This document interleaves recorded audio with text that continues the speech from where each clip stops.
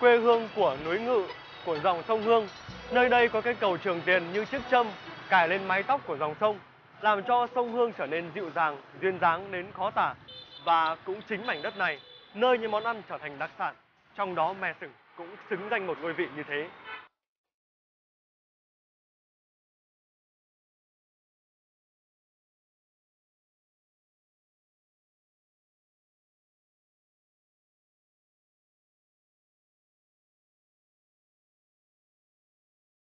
Mẹ sừng Huế, sản phẩm nông nghiệp tỉnh Thừa Thiên Huế, phân bố chủ yếu tại thành phố Huế với khoảng 20 cơ sở sản xuất, sản lượng 100.000 tấn trên một năm. Tại sao ở Huế mình lại gọi là me sừng hả anh? Hồi xưa là cái me sừng này là xuất phát là tại vì người ta nấu trong một cái nồi nhỏ thôi như cái sừng vậy. Dạ. Thì người ta gọi đó là người ta mới đặt cái tên là me sừng. Vậy thì cái hương vị đặc biệt của mè sừng như thế thì mình cần phải có những nguyên liệu gì để làm ra ạ? Giờ làm bánh me sừng thì mình phải cần nguyên liệu là đường, bột gạo, đậu phụng, và hạt vừng và mật nha và vani. Với nhiều nguyên liệu như vậy thì khi mình mua về thì các nguyên liệu của mình có được các cơ quan kiểm định về chất lượng không anh?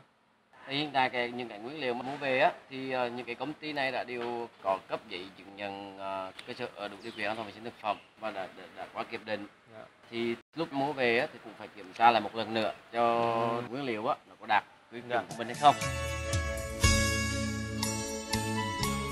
Với rất là nhiều cái nguyên liệu ban đầu thì mình ờ, sẽ trộn làm thế nào để có thể tạo thành bánh mè sừng ạ? Đây là giai đoạn đầu thì mình phải cho đường và nước vào, xong rồi mình à, cho cái bột mà mình đã khuấy đây, mình sẽ đổ cái này vào trong này. Rồi, xong bắt đầu mình cho máy nó chạy cho nó khuấy đều. Mình cho, cho nhiệt nó vào để, cho cái hột lòng này nó, nó đều và nó, nó chín. Khoảng tầm 15 phút thì bắt đầu cái bột này nó sẽ sẽ bột uh, cố lại. Sau 15 phút đó thì mình sẽ thêm đường vào tiếp.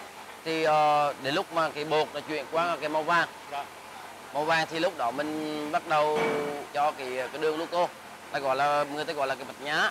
Tầm 15 20 phút sau thì mình sẽ dùng bằng cảm quang mình mình thử. Thử cái độ chín của cái kẹo nó tới ngang đâu.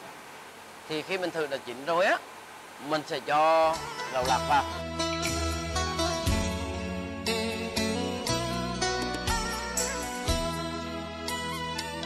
Sau khi đổ ra ờ, niên rồi thì ta làm gì ạ? cái đó nó là định hình của cái sản phẩm á cho nó vào khuôn đó lớp vùng này bao bọc bên ngoài cho nó khỏi bị bị dính khâu cuối cùng là, là hai khâu là, là khâu cắt và khâu đồng gói Wow, Ờ. các bạn có thể thấy này bên ngoài là một lớp vừng bao bọc chiếc bánh nhưng mà bên trong của chúng ta đó là những hạt lạc. Em có thể ăn được không anh? đúng rồi mời ăn Bánh rất mềm và nhai thì chúng ta có thể cảm thấy là bên trong có những hạt lạc rất là giòn nữa.